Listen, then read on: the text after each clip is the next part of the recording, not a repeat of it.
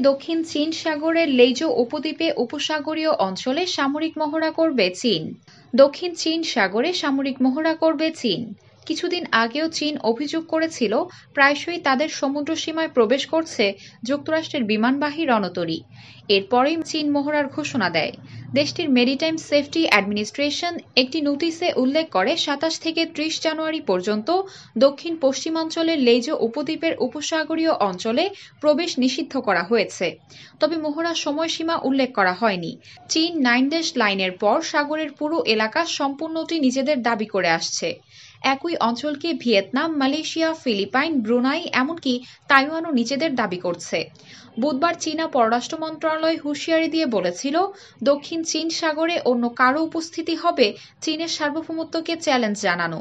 আর এই কাজ থেকে বিরত থাকতে বেজিং হুঁশিয়ারি দিয়েছিল ওয়াশিংটনকে। মালিকানা নিয়ে বিতর্ক থাকা দক্ষিণ চীন সাগরের একটি বড় অংশ নিজের বলে দাবি করে আসছে চীন। এছাড়া কয়েক বছর ধরে দক্ষিণ চীন সাগরে কৃত্রিম একটি দ্বীপ তৈরি করছে দেশটি। মার্কিন ওই রণতরী ইউএসএস কার্ল ভিনসনকে দক্ষিণ চীনে সর্বশেষ দেখা গিয়েছিল দুই বছর আগে মালয়েশিয়ার নৌ ও বিমান বাহিনীর সঙ্গে মহড়ার সময় ইরানের সঙ্গে চমৎকার সম্পর্ক বজায় রাখবে কাতার বললেন মুখপাত্র। গণমাধ্যমে প্রকাশিত জল্পনা উড়িয়ে দিয়ে ইরানের সঙ্গে বিদ্যমান চমৎকার সম্পর্ক অব্যাহত রাখার ঘোষণা দিয়েছে কাতার। সম্প্রতি কোনো কোনো গণমাধ্যম দাবি করেছিল, কাতার সম্প্রতি সৌদি আরবের সঙ্গে চুক্তি স্বাক্ষর করায় তেহরানের সঙ্গে দোহার সম্পর্কের অবনতি হবে। কাতারের পররাষ্ট্র মন্ত্রণালয়ের মুখপাত্র লোলোয়া আল খাতের বার্তা সংস্থা ইরনাকে দেয়া সাক্ষাৎকারে বলেন, ইরান ও তুরস্কের সঙ্গে আমাদের চমৎকার সম্পর্ক বিরাজ করছে এবং আমরা মধ্যপ্রাচ্যে বিদ্যমান স্থিতিশীলতায় সন্তুষ্ট। সৌদি নেতৃত্বাধীন কঠোর অবরোধের দিনগুলোতে যেসব দেশ কাতারের পাশে দাঁড়িয়েছিল, সেসব দেশের প্রতি কৃতজ্ঞতা জানান আল খাতের সৌদি আরব ও তার তিন মিত্র সংযুক্ত আরব আমিরাত, বাহরাইন ও মিশর দু হাজার সতেরো সালের জুন মাসে কাতারের সঙ্গে কূটনৈতিক সম্পর্ক ছিন্ন করে দেশটির উপর কঠোর অবরোধ আরোপ করে। সৌদি আরব যেসব দাবিতে এই জোট পাকায়, তার মধ্যে ছিল ইরানের সঙ্গে কূটনৈতিক সম্পর্ক কমাতে হবে, তুরস্কের সঙ্গে সামরিক সহযোগিতা বন্ধ করতে হবে এবং আল জাজিরা টেলিভিশন বন্ধ করে দিতে হবে। কিন্তু কাতার এসব দাবি মেনে না নিয়ে উল্টো ইরান ও তুরস্কের সঙ্গে সম্পর্ক শক্তিশালী করেছে। সৌদি নেতৃত্বাধীন দেশগুলোর তীব্র অবরোধের দিনগুলোতে কাতারের পাশে দাঁড়িয়েছে ইরান ও তুরস্ক। তেহরান ও আঙ্কারার সহযোগিতায় সৌদি নেতৃত্বাধীন জোটের নিষেধাজ্ঞা অকার্যকর করে দিয়েছে দোহা। চলতি মাসের গোড়ার দিকে ওই চার আরব দেশ কাতারের সঙ্গে সেই শত্রুতার পরিবেশের অবসান ঘটিয়েছে। কাতার ও সৌদি আরবের মধ্যে স্বাক্ষরিত এক চুক্তির ভিত্তিতে দু দেশের মধ্যে আবার বাণিজ্যিক লেনদেনের পরিবেশ তৈরি হয়েছে। এ সম্পর্কে কাতারের পররাষ্ট্র মন্ত্রণালয়ের মুখপাত্র বলেন, তার দেশের সঙ্গে চার আরব দেশ যে সংকট তৈরি করেছিল তার ফলে কোনো দেশের লাভ হয়নি। বরং প্রত্যেক দেশের ক্ষতি হয়েছে।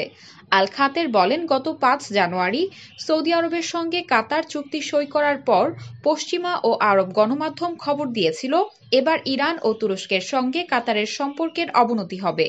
কিন্তু বাস্তবে ওই দুই দেশই সবার আগে এ চুক্তি সই করাকে স্বাগত জানিয়েছে। স্নায়ুযুদ্ধ বিশ্বকে বিভক্ত করবে বললেন শি। নতুন ঠান্ডা যুদ্ধের বিরুদ্ধে বিশ্ব নেতাদের হুঁশিয়ারি দিয়েছেন চীনের প্রেসিডেন্ট শি জিনপিং। সোমবার ডাভোস ফোরামে ভার্চুয়ালি বৈঠকে প্রদত্ত এক বক্তব্যে এই হুঁশিয়ারি দেন তিনি। একই সঙ্গে চীনের প্রেসিডেন্ট প্রাণঘাতী করোনা মহামারীর সময়ে সবাইকে ঐক্যবদ্ধ হওয়ার আহ্বান জানান। শি বলেন, অন্য দেশের বিষয়ে হস্তক্ষেপ এবং হুমকি কেবল নতুন স্নায়ুযুদ্ধ শুরু করবে এবং বিশ্বকে বিভক্ত করবে। চীনা এই প্রেসিডেন্টের মতে, বিরোধ একটা দেশের মানুষের স্বার্থকে এবং সাধারণ মানুষের কল্যাণের ক্ষতি করে। তিনি আরও বলেছেন, আমাদের উচিত মুক্ত অর্থনীতি তৈরি করা। বৈষম্যমূলক ও বর্জনীয় মান, বিধি এবং ব্যবস্থা বাতিল করুন এবং ব্যবসায়ের ক্ষেত্রে প্রতিবন্ধকতাগুলি সরিয়ে দিন। বিনিয়োগ এবং প্রযুক্তিগত বিনিময় করুন। চীনা প্রেসিডেন্ট এমন সময়ে এই হুঁশিয়ারি বার্তা দিলেন, যখন মার্কিন প্রশাসনে জো বাইডেন ক্ষমতায় বসলেন। অন্যদিকে বিস্ফোরণে কেঁপে উঠল সৌদির রাজধানী রিয়াদ। ব্যাপক এক বিস্ফোরণের শব্দে কেঁপে উঠেছে সৌদি আরবের রাজধানী রিয়াদ। স্থানীয় সময় দুপুর বারোটা বান্ন মিনিটের দিকে এই বিস্ফোরণে বহু জানালার কাজ ভেঙে পড়ে।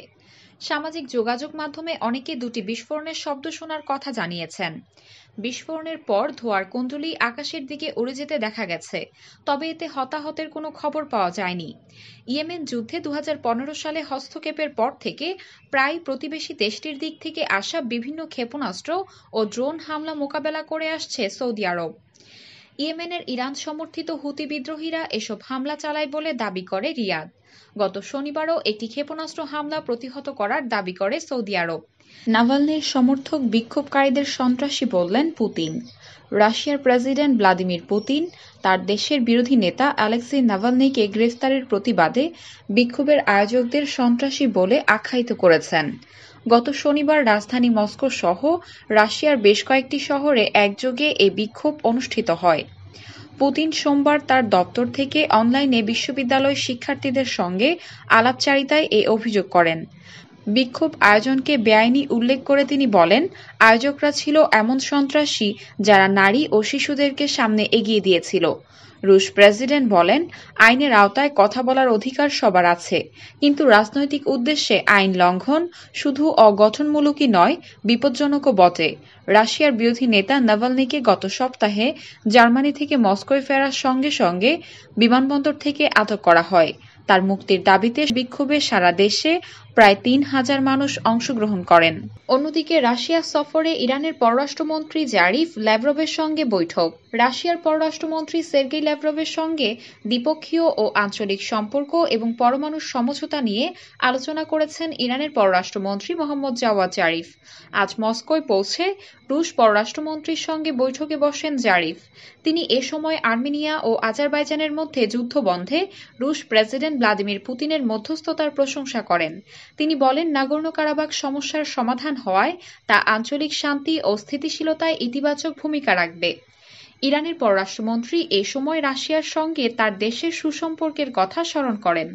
জাওয়াদ জারিফ গতকাল আজারবাইজান সফর করেছেন। সেখানে তিনি মুক্তাঞ্চল পুনর্গঠন ও উন্নয়নে সহযোগিতার প্রতিশ্রুতি দেন। তিনি বলেন, সীমান্তবর্তী মুক্তাঞ্চলে পুনর্গঠন কাজ করতে তেহরান আগ্রহী। লেভরভের সঙ্গে আজকের বৈঠকের বিস্তারিত তথ্য এখনও প্রকাশিত হয়নি। তবে বৈঠকে আঞ্চলিক সহযোগিতা জোরদারের উপর গুরুত্ব দেওয়া হয়েছে বলে জানা গেছে। রাশিয়া সফর শেষে ইরানের পররাষ্ট্রমন্ত্রী তুরস্ক আর্মেনিয়া ও জর্জিয়া সফরে যাবেন বলে কথা রয়েছে। স্থাপিত হল দূতাবাস, ইসরায়েলের সহযোগিতায় আঞ্চলিক প্রভাব বিস্তারী আমিরাতের লক্ষ্য। দখলদার ইহুদিবাদী ইসরায়েল সংযুক্ত আরব আমিরাতের রাজধানী আবুধাবিতে আনুষ্ঠানিকভাবে দূতাবাস উদ্বোধন করেছে। গত বছরের সেপ্টেম্বর থেকে ডিসেম্বরের মধ্যে চারটি আরব দেশ, অর্থাৎ সংযুক্ত আরব আমিরাত, সুদান, বাহরাইন ও মরক্কো, ইসরায়েলের সঙ্গে কূটনৈতিক সম্পর্ক স্থাপনের ব্যাপারে সমঝোতাপত্রে সই করেছিল। সংযুক্ত আরব আমিরাতই প্রথম দেশ, যে কিনা গত পনেরোই সেপ্টেম্বর ইসরায়েলের সাথে সম্পর্ক স্বাভাবিক করার বিষয়ে চুক্তিতে সই করেছিল। সেপ্টেম্বরে সম্পর্ক স্থাপনের পর থেকেই আমিরাত ও ইসরায়েলের মধ্যে সরাসরি বিমান চলাচল শুরু হয় এবং দুপক্ষের বাণিজ্যিক প্রতিনিধিদের সফর বিনিময় অব্যাহত রয়েছে। এদিকে ইরানের পারমাণবিক বিজ্ঞানী ফাকরিজাদের কাজের প্রশংসা করলেন খামেনি। ইসলামী প্রজাতন্ত্র ইরানের পারমাণবিক বিজ্ঞানী ফাকরিজাদের কাজের প্রশংসা করেছেন দেশটির সর্বোচ্চ নেতা আয়াতুল্লাহ সৈয়দ আলী খামেনি। পারমাণবিক বিজ্ঞানী মোহসেন ফাকরিজাদের পরিবারের সদস্যরা খামেনির সঙ্গে সাক্ষাৎ করতে গেলে তিনি দেশের জন্য বিজ্ঞানীর অনন্য প্রচেষ্টা ও শাহাদাত অর্জনের প্রশংসা করেন। সন্ধ্যায় ফাকরিজাদের পরিবার ইরানের সর্বোচ্চ নেতার সঙ্গে সাক্ষাৎ করেন। খামিনি বলেন, দেশের প্রতি ভালোবাসা ও অফুরন্ত উদ্দীপনা নিষ্ঠার সঙ্গে ফাকরিজাদে কাজ করে গেছেন। এই ধরনের ইকলাসই তাকে শাহাদাতের মর্যাদায় পৌঁছে দিয়েছে এবং অনেক তরুণ এখন তাকে আগে না জানার জন্য আফসোস করছেন। ফাকরিজাদের পরিবারকে ধৈর্যশীল হতে মহান আল্লাহর কাছে সে তৌফিক দানের জন্য ইরানের সর্বোচ্চ নেতা দোয়া করেন।